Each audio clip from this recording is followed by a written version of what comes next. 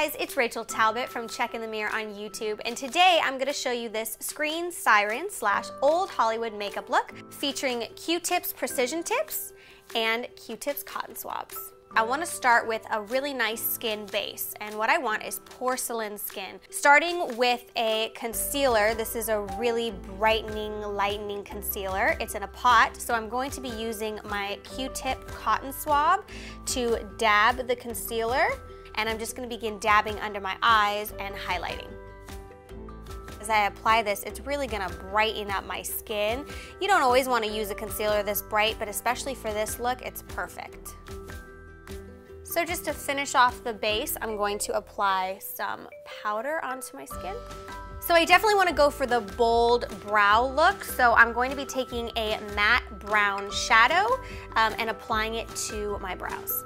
When applying your shadow, you want to start in the middle of the brow. That way once you get to the front, you have a little bit of color, but not too much.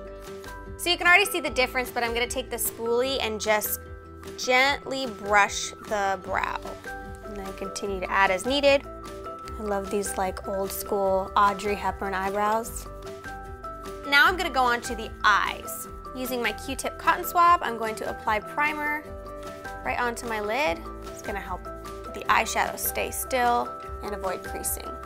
So now I'm gonna start with the eyeshadow. I'm going to use a really pretty gold for the inner corner of my eye and I'm gonna use the Q-tip precision tip and I'm gonna really just tap that in.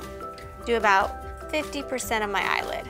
I'm gonna bring a little bit under my eye. For the outer part of my eye, I'm going to take a really deep black and I'm just going to tap, tap, tap, tap, tap. Do the same on the other side. I'll get to the blending, but right now I'm just gonna get that color on there. So now I'm just gonna blend with a blending brush and I'm just gonna really focus on contouring and leave that gold where it is, but you're just gonna wanna really get that dark color into your crease and then bring it up also. Take my Q-tips precision tip and blend the rest with that. You can also use the precision tip to get a nice little line. Apply the dark color as a liner. And then I'm also gonna bring that color up and out. I'm gonna use a much lighter yellow gold for right under the brow. I'm gonna wing the eye out more with my Q-tip precision tip and bring that into the corner a little bit more so that I have that darker kind of old school cat eye look that I wanna go for. I'm almost kind of draw a little triangle and then I'm gonna take my brush and blend it. So you're just gonna continue blending and blending and blending until you get that really pretty crossover from the dark smoky to the gold. Taking the Q-tip precision tip, I'm just gonna add a few dots right under my eye and I'm gonna blend those in. That's gonna bring attention away from any dark circles I might have. So next I'm gonna curl my eyelashes. A nice trick with your eyelash curler is to take the curler and bring it up, that gives a nice curl. Time for some mascara, and I'm gonna really get those nice long lashes. I'm gonna do five or six coats just so that you don't have to use falsies. You can just keep adding and adding until you get nice, long, thick lashes.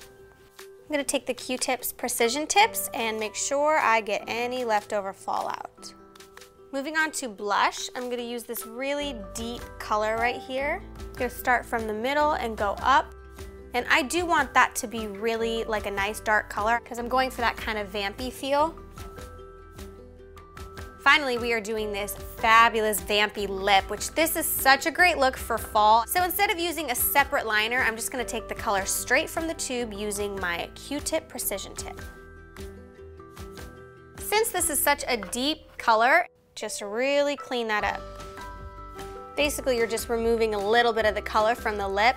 It's actually gonna give it more of a stained look as opposed to a high gloss finish. Porcelain skin. Real vampy lip, vampy blush, and also a smoky eye. Our Screen Siren Hollywood look.